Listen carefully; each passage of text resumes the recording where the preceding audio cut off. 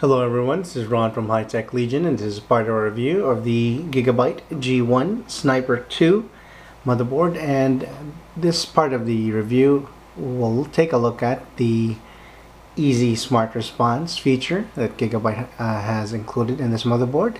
And uh, if you recall correctly in order to set up a the Intel Smart Response technology you have to go through multiple steps. You have to course plug in your SSD and you have the hard drive and if you already have a hard drive installed you already have a an operating system installed on hard drive since you are going to have to set it up to RAID mode you will have to then reinstall your OS and uh, reboot and of course do uh, and then run the Intel Smart Response software.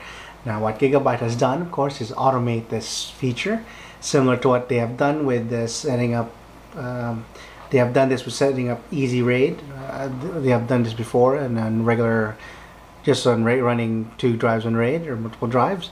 Uh, that was a very convenient feature to use and in order to do that, let me just exit this software, is you actually download the Easy Smart Response uh, program from uh, Gigabyte's website and um, unfortunately I, I it doesn't seem to be included in the driver uh, CD, but I checked out the uh, the uh, official product page for G- 1 Sniper 2, and it says that it is capable of easy smart response. So let us try that now. I'm going to set up the easy smart response software, as you can see there.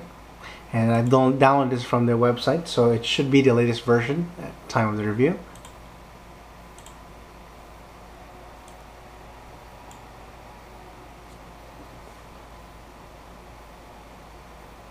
What will happen is it will as I said it will automate everything. So what will happen is it once you it will go through several reboots and uh, uh, install the necessary drivers and go into the BIOS and set that up properly for you. And uh, now let's try running the program. See if we can find it. There we go. Easy smart response. This is basically all you need to do. It will, it will show you this uh, window right here says, warning, your system will be set to RAID mode. As you saw currently in the touch BIOS that it was set in IDE mode, which is the default. I have my uh, SSD plugged in to, and the hard drive with the OS installed and currently running at, into the SATA 6 port of the Intel motherboard. And uh, see, RAID system will be set to RAID mode. It will restart twice when the setup is done.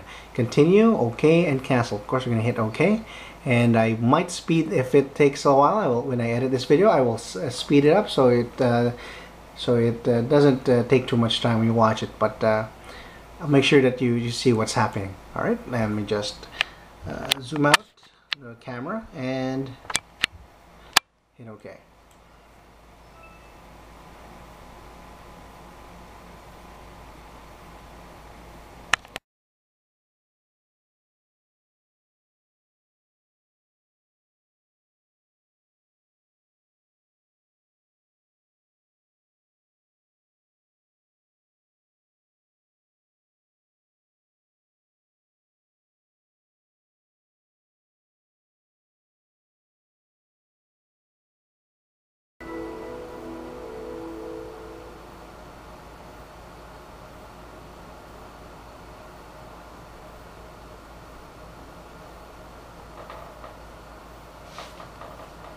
Alright, uh, everything seems fine now. And uh, if you look here in the very bottom, says Intel RST service is not running. So let's uh, run that and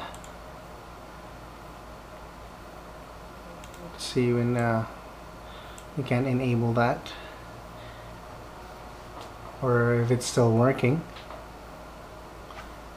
Hmm, there we go. Current status, your system is functioning normally. Oh, it's actually part of the uh, all SATA and all data in the SSD drive will be destroyed.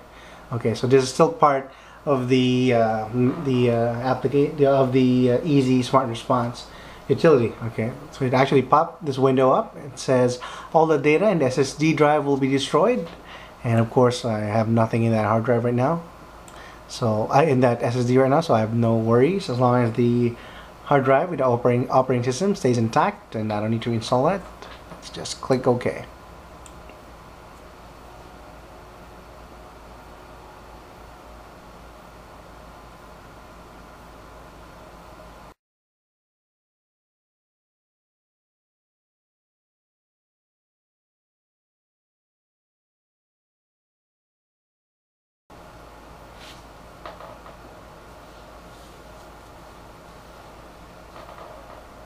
Okay, uh, now everything seems to be working fine now. Uh, let me check the Intel RST. And it says Intel Rapid Storage Technology, a new volume was found. So it looks like it's working. Let's uh, open up that application. Enhanced mode is enabled, Intel Rapid Storage Technology. So there you go. As you can see, it was very simple. It took uh, took less than five minutes actually. It took about uh, well, since I, am talking in, in the in between, so it probably around took around five minutes from the moment I clicked it. And uh, okay, there we go. Thanks for watching, and uh, let's continue on with the rest of the review.